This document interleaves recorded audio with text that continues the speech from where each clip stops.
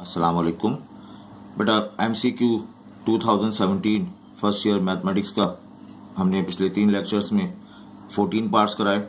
आज, इंशाल्लाह ये कंप्लीट करते हैं। इसका एम सी क्यूज़ के बाकी फाइव सिक्स पार्ट्स भी। बच्चों, यहाँ देखो नंबर ऑफ़ एलिमेंट्स दिए हुए हैं। एक सेट दिया हुआ है एक्स उसको ऐसे पढ़ेंगे x such that x belongs to integer x belongs to integer और माइनस वन से फाइव तक है। तो अगर मैं सेट ए को प्रॉपर तौर पर लिखना चाहूँ एक्स माइनस वन से स्टार्ट होगा। माइनस वन के बाद ज़ीरो लिखेंगे, फिर प्लस का वन लिखेंगे, फिर टू लिखेंगे, फिर थ्री लिखेंगे, फिर फोर फिर फाइव फिर सिक्स फिर सेवन और फिर एट ये सेट हमारा कंप्लीट होगा। Minus one sorry minus one से स्टार्ट होगा और कहाँ तक जाएगा? प्लस फाइव तक। Minus one zero one two three four five पे आके क्लोज हो जाएगा। क्या पूछा गया है? नंबर ऑफ़ एलिमेंट बताइए। काउंटिंग कर लें। One two three four five six seven तो इसमें जो है नंबर ऑफ़ एलिमेंट हमारे पास सेवन मिल गए। तो seven is the correct answer तो यहाँ पर आओ। ये एक मैट्रिक बड़ा फ़ेमस क्वेश्चन है। अक्सर पेपर में आता है। ये एक मैट्रिक्स दिया हुआ है। इस मैट्रिक्स की वैल्यू दी हुई है लेमडा थ्री टू और फोर दिया हुआ है। ये मैट्रिक्स है। इस मैट्रिक्स को ए सपोज़ कर लें।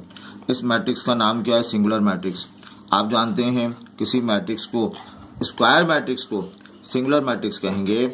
अगर उसके डिटर्मिनेंट का जवाब कितना आ रहा हो? ज़ीरो के बराबर आ रहा हो। तो ये मैट्रिक्स सिंगुलर है। लैमडा मालूम करना है। तो इसका डिटर्मिनेंट हम मालूम करते हैं। लैमडा थ्री टू और फोर बच्चों, ये आ जाएगा लैमडा ये पढ़ा जाएगा फोर लैमडा टू थ्री ज़ा सिक्स अब मैट्रिक्स की नेचर क्या है? सिंगुलर तो इसका मैथमेटिकल मतलब क्या होगा? डिटर्मिनेंट ज़ीरो ये ज़ीरो रिप्लेस कर देंगे। You get four lambda minus six minus six ये सिक्स इक्वल आ जाएगा फोर लैमडा के बराबर।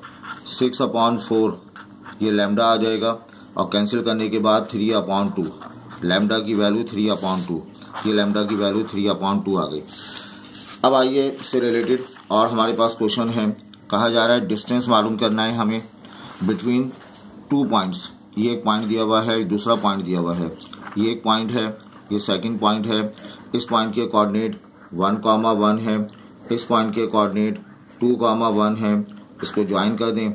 ये डिस्टेंस मालूम करना है. ये डिस्टेंस फार्मूला आप सेकेंड ईयर में पढ़ेंगे. फ़र्स्ट इसका ये कुछ इस तरह से है. X two minus x one का whole square plus of y two minus y one का होल स्क्वायर इस फार्मूले में जो पहला पॉइंट है, उसको एक्स वन वाई वन का नाम दे दें। और जो दूसरा पॉइंट है, उसको एक्स टू और वाई टू का नाम दे दें। पहला पॉइंट क्या है? वन कामा वन दूसरा पॉइंट क्या है? टू कामा वन अब अगर मैं फार्मूला अप्लाई करता हूँ x one y one one one हो गया। X two y two two one हो गया। According to formula x two minus x one x two minus x one two minus one two minus one का whole square फिर formula है y two minus y one y two minus y one y two minus y one का मतलब one minus one इसका whole square आ जाएगा. To minus one one के बराबर है. वन का स्क्वायर वन आ गया. One minus one zero zero आ जाएगा. वन का अंडर रूट वन वन का रूट किसके बराबर आ गया? वन के बराबर. तो इसका जवाब आ जाएगा वन यूनिट ये इसका रिज़ल्ट आ जाएगा. अच्छा बेटा, अब आइए, इसी से मुतालिक हम क्वेश्चन करते हैं।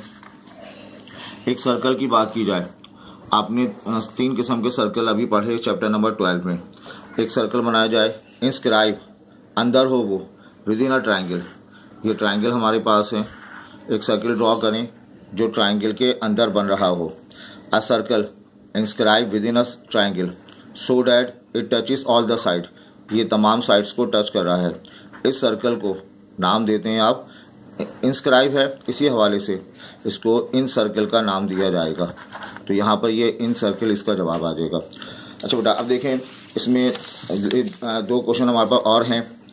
The principal value of tan tan arc tan ये टेन लिखा हुआ है और ये लिखा हुआ है आर्क टेन माइनस वन लिखा हुआ है।